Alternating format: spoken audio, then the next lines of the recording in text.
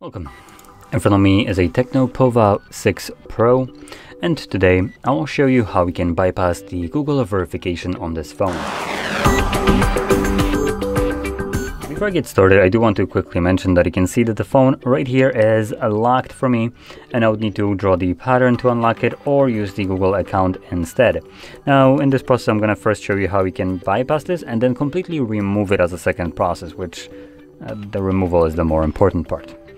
Uh, now for this we will need a uh, SIM card uh, that is actually functional so we can send a message to basically no one. Uh, so the card needs to be functional, but there's no real reason other than for us to be able to just attempt to send a message. But anyway, let's go just get straight into it. So we're gonna uh, either go forward or go back depending on where you are. If you're at the beginning of the setup where you get to choose the language, uh, then go forward until you get to the Wi-Fi connection page and sign into your network. If you're already at the verification, uh, verification page, then back out like I just did. Next, you're gonna click on the QR code right here for your connected network. I am gonna hover my hand as it does show a uh, obviously network. Okay, there's no password, but you can see there is the QR code. Now you want to click right here on the nearby, continue, allow, and then select need help sharing. And from here, you're gonna click right here on these three dots and select share article and choose, before you actually choose anything, let's quickly pop in our card.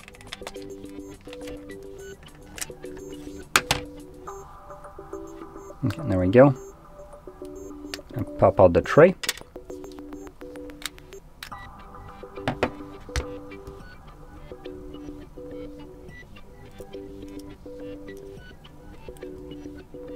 There we go.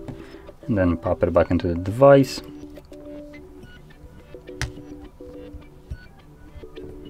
Okay, so as you can see this, uh, I just put in a pin to unlock the SIM card.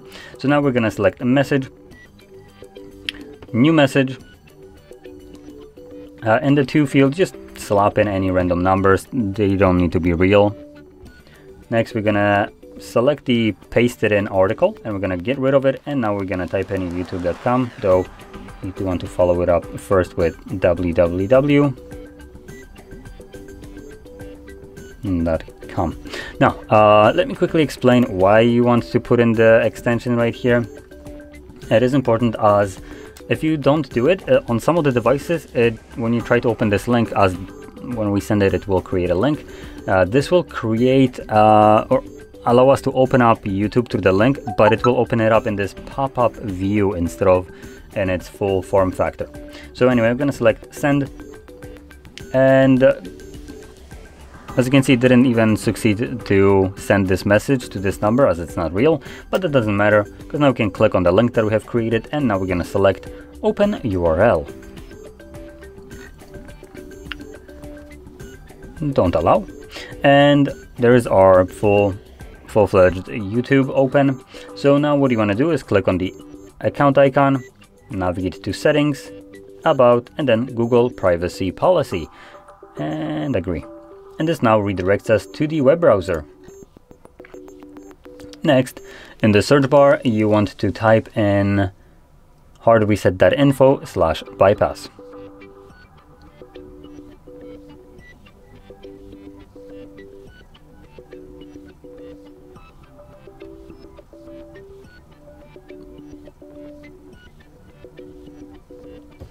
Like so. If you need a moment, do pause the video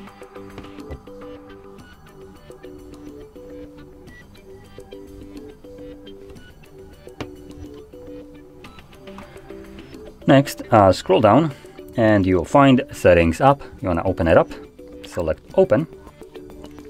And the, this will redirect us to the phone's settings up from the browser. Now, um, I do want to also clarify something. So we're gonna be, uh, we're already on the settings, which we will utilize later on. The reason we're not gonna be utilizing uh, same thing that I'm gonna be showing later on is because the device is still in a setup process. I do want to kind of stress that. So right now, uh, even though we're in the settings, uh, the device, for all, intents and purposes, the device still thinks it's in the setup, uh, on the setup page. So anyway, from here, we're gonna navigate to app management right over here and then up a list and we want to turn off first Android Auto select disable disable up and force stop then go back. Select the second option or third one which is Android setup. Select force stop go back and then scroll down lower to Google Play services. And here again disable disable up and force stop and then go back. And go back once more and once more to the main settings page. And now we will need to enable uh, accessibility menu, which will be, I believe, in here, special function, uh, accessibility, and there we go, accessibility menu, toggle it on, allow, and got it. Okay, so we basically have turned off and disabled uh, three different applications, enabled the accessibility menu, and we're good to go. So what you want to do now is just start backing out. Now I am gonna again hover my hand as the QR code will show up once more and couple clicks. There we go, there's the QR code again as you can see. And let me just close it, there we go. So there was a bug arrow right there. So once the this is closed, we're just gonna progress now forward. Again. And in a second, after we select the option to don't copy,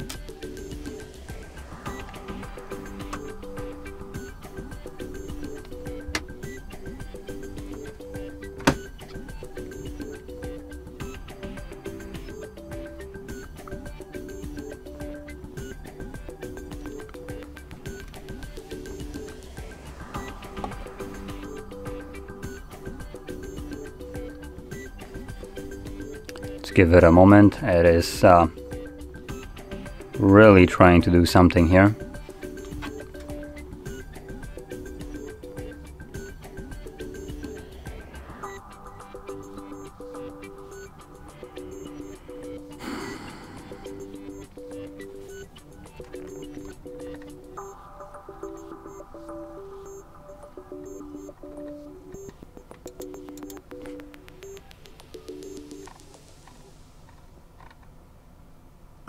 Finally.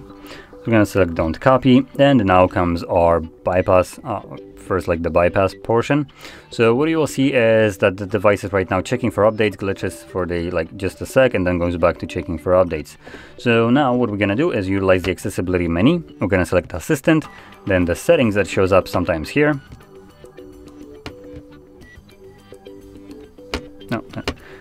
let's try that again. There we go and you want to select the enable button. Now, for me, it only took me like, what, four tries about, or maybe five. Uh, it might take you uh, more tries. If you're struggling with this, just try to like spam all of these options really quickly as, as when they show up. So when you click uh, the accessibility uh, assistant, uh, you can already like pre pre-top the area where the settings will be. And then if it just kind of does any kind of sliding just start to pre-top somewhere in here to try to select the enable option. Uh, now once it's enabled it actually stays open. So you can now go back. And it should go to the next page. There we go. Without actually checking if the device is locked. So right now we can finish up the setup. Just give it a second again. Now, uh, when going to the setup right now, just choose whatever is quickest for you and uh, if you can select skip